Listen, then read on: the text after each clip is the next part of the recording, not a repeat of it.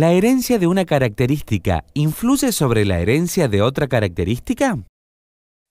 En sus primeros experimentos, Mendel comenzó estudiando la herencia de varios caracteres de las plantas de arvejas de a uno por vez.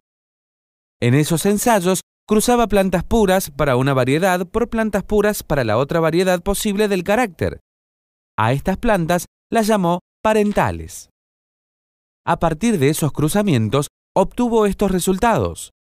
¿Se aproximan las frecuencias observadas a las esperadas?